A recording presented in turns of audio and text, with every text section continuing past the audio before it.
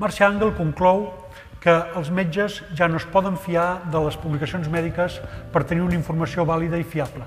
I diu que el metge ja no pot saber quina eficàcia i seguretat tenen els medicaments si es basa només en la lectura d'aquests assaigs clínics i que probablement els medicaments no siguin tan bons com ho indiquen les publicacions mèdiques.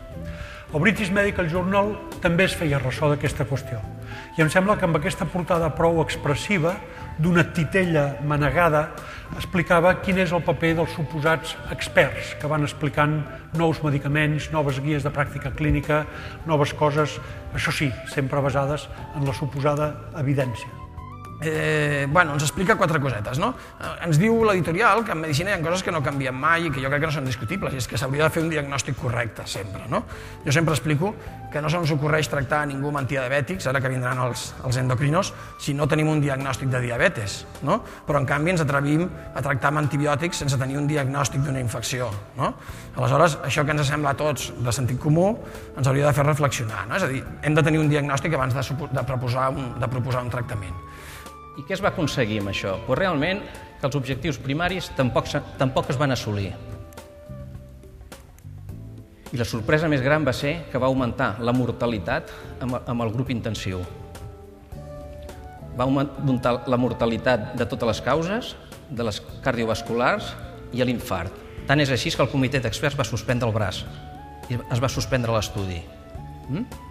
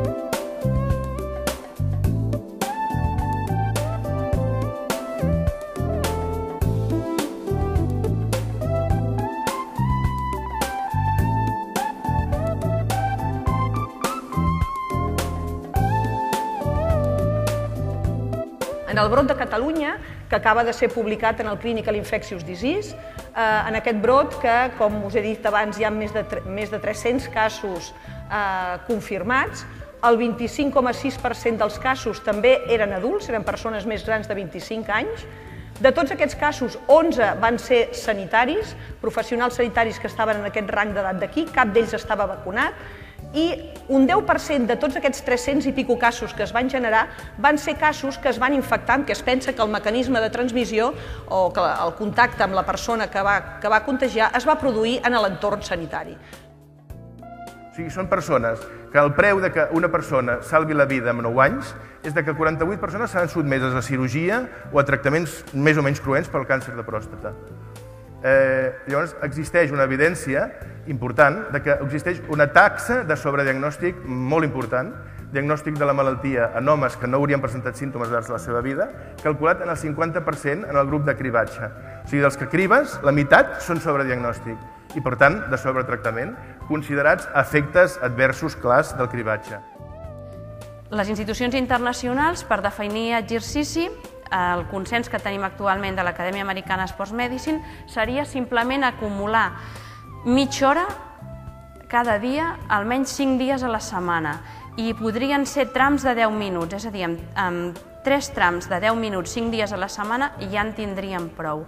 Més endavant sortirà també el concepte de les 10.000 passes, és una miqueta més, serien unes 300 calories al dia, i un altre mínim podria ser aquests 150 quilocalories cada dia, que serien al cap de la setmana unes 1.000 calories. Ya saben ustedes que la anemia que acompaña la insuficiencia cardíaca es un factor detrimental del pronóstico de estos enfermos, de los enfermos con anemia van peor, se mueren más. Entonces, una, una forma de tratamiento es, vamos a darles eritropoyetina a estos enfermos por vía subcutánea, a ver si subiendo, la anemia, mejorando la anemia, mejora la insuficiencia cardíaca. Y la crítica era, uno, tenían pocos enfermos, dos habían sido seguidos poco y tres había noticias de que cuando se empleaba esto en otro tipo de enfermedades, sobre todo la anemia de los neoplásicos, pues resulta que el efecto era deletéreo, se morían más. Entonces, ojo, lo que tenía sentido fisiopatológico inicial después no tiene resultado clínico eh, eh, adecuado. Solo tengo que deciros muchas gracias por vuestra atención. Hemos aguantado muy bien hasta las seis y cuarto. Gracias.